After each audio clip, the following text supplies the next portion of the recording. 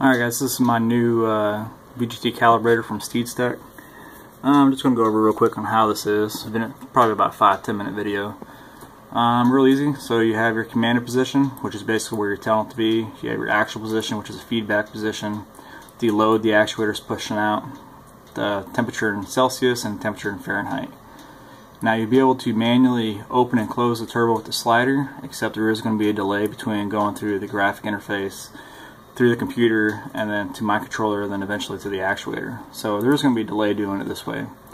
Um, you'll have five buttons up here, jumping 25 percent at a time.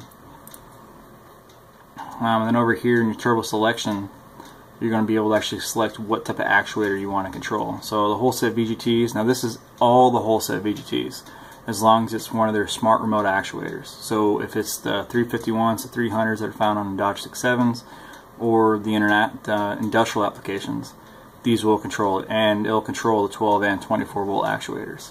Now there is some older ones that it won't do. There's some pneumatic ones, and there's also another one that has basically runs off current, which this won't do. But this will do all the newest generation Holsets. The Ford F-250 6.4 is the international 6.4 that's found I think 2010, 2007, 2010 um, Fords. I'm not too familiar with what engines they actually are. Um, but this is going to control that actuator as well. It might control some other international turbos. I just have to get my hands on them and actually test it. The Jideco turbo is found on the Hinos and Isuzus, like the J05, J08 engines. Um, they're also found on some EGR valves and even some other Toyota motors found overseas. The Hella actuator is a really popular actuator found on like Volkswagen, BMW, um, the Dodge Sprinter van, and quite a few other engines. It's basically like a 1 to 3 liter engine, so it's a really light duty actuator. Um, the S300BV is found on a John Deere. Um, this actuator is also found on a bunch of other international engines. So I, I, just basically have to plug it in and see if the wiring is the same and see if it takes the same commands. Um, so we're going over here, you can actually see what turbos these are designed for. Um, so you basically just plug in the actuator as long as it's bolted to the turbo. You tell it to calibrate and go from there. It may give you error up here. If it does, you'll see what it is. Um, one of the big differences between this version and my last, aside from the turbo selections, is these two functions here. So the sweep function is the same thing as a span test, except the span test, I'm sending the command to the actuator, where this, I'm actually varying the data going to the actuator. So this is actually my controller controlling it, and this is the Holset doing it. Um, the calibrate button's the same thing as these two. The only difference is this is actually for the Jideco. Um, a lot of guys have problems with uh, the Holsets because you know they pull the actuator off, they slap back on the truck, and they go, not realizing they have to be actuated or actually have a turbo rebuilder who can actually do that. Um, so the Jideco are no different. It doesn't seem like it needs to be calibrated, but they do. So if you actually slap it on there and you drive, eventually the actuator will turn off which comes to the conclusion that they, people think they lose their uh, lose their information, but they just need to be calibrated and it should be just fine. Um, so these are the turbos. This is the Garrett with the Jideco actuator. Um, isn't too anything too special except it has a funky adapter. Well, needs a funky adapter, basically going from a T3 this way to a regular T4. Um, this is your Hella actuator. Again, nothing too fancy. It's pretty simple. These are your HE300VG off the Dodge 6.7, the newer Dodge 6.7. And this is the Ford 6.4 liter actuator. So the plan actually with this one is to have my Banshee controller control this as well, just like I do with the Holsets. So you actually be able to take actually any of these turbos and put them on any motor. But I think these would be really cool for like older Fords, like the 6 liter. You'd be able to take the compound turbos from the 6.4 and now put it on and you'll have a high degree of control over the actuator. Um, so kind of to start this demonstration, we're going to start with the Holset.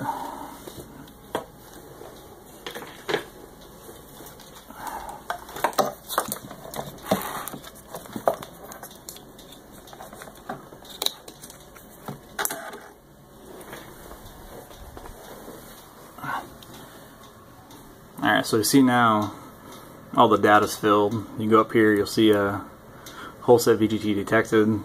I'm at command at the 25 position. My actual position is 25. The load's 132. I'm still trying to exactly figure out what that means. And then you have your board temperature in Celsius and in Fahrenheit. So you can kind of hear the delay.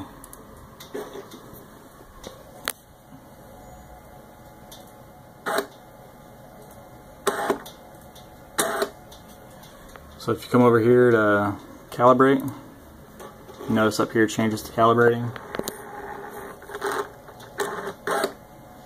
And it's calibrated. And then you do a span test.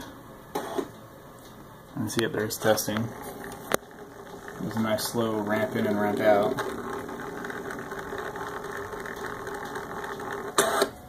And then it stops. So the difference is if you want to do that again, you got to keep clicking on it. Where the sweep button, all it's going to do is constantly just go back and forth real slow. So it's going slower than uh, the span test, which is why it sounds a little bit more clicky. But it'll just keep doing it over and over and over again. So it's really good if you're want to bench test them, or if you have like the Hella actuators where you really can't command it, you can just kind of tell it to sweep back and forth as you adjust it. And a lot of these have adjustments, like these stoppers here. So this would be really good for them. And then if you want to stop it, just click on sweep again. It goes back to normal. Now when you're switching these turbos out, you gotta make sure you unplug it.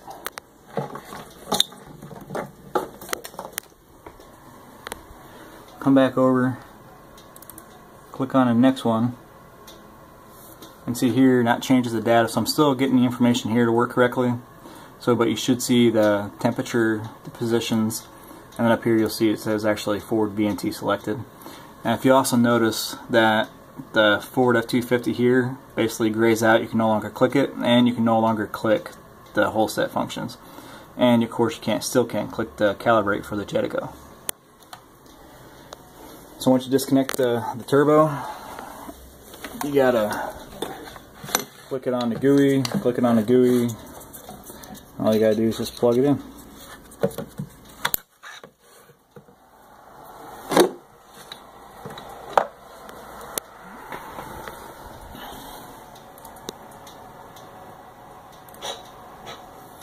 So again, as you can hear the the delay.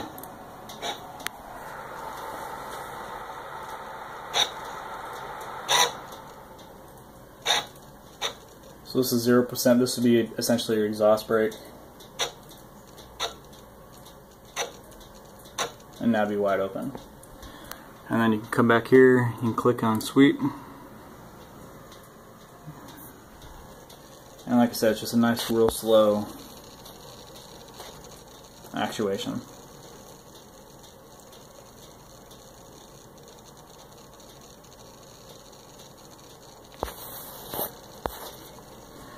And then when you want to turn it off you just click on it. It goes back to normal. You're going to unplug your turbo.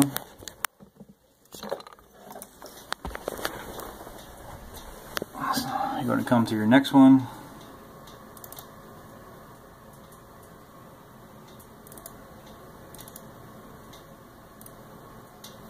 That was weird so it's not detected. Uh, I screwed up part of the code, so I got to fix it. And once I actually connect to it, um, but for some reason this part of the code isn't responding even when I do connect it. But as you can see, same thing here. It's grayed out. These are grayed out, but now you can actually send the calibrate command.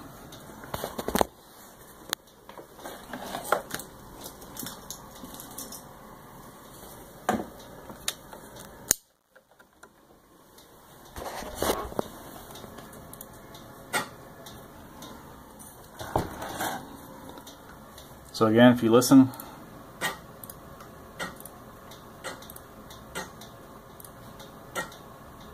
same thing, still a delay. Um, so right now I'm commanding it to 0, 0, 25, 25. Now the load on this one's weird. Um, I'm not too sure exactly why it bounces around like that.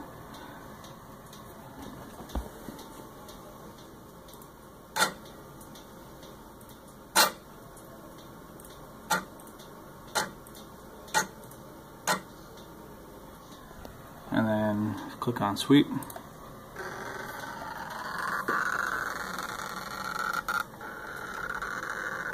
Now see, this is why this is really important for uh, to be able to calibrate these. So you can adjust these screws, which will give it more of a range.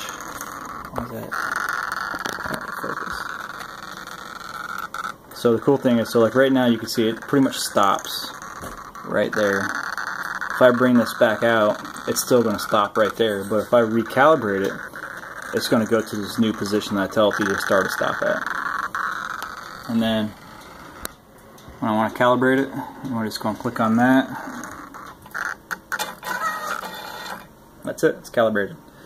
Now, for some reason, I screwed up the code on that part as well. So this should actually say operating and when it does that it'll actually go back so now I have to go back into settings and fix it but it's not it's not a big deal it's just something I'm working towards.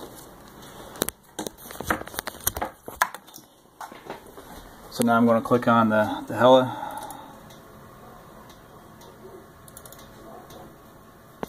So now you can see up here. Hella actuator selected. Now this is going through pulse modulation so there is no data to read back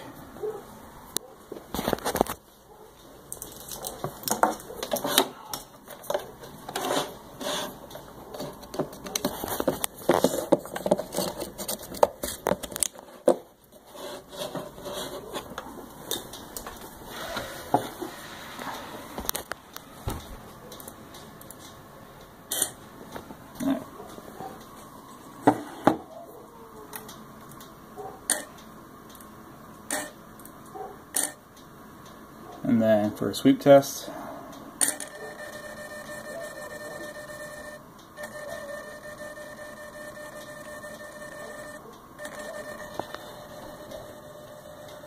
And same thing, you're just going to click it again, turns it off. Um, so as I continue, of course, I'm just going to keep adding turbos to my list and hopefully I can get just about everyone on here. Um, I might even start looking at the current base ones found on a Duramax. Um, but yeah, so you can not only test all these turbos, you can actually use my controller and run these turbos on any engine you want. So please send me an email, give me a call if you guys have any questions. Thanks.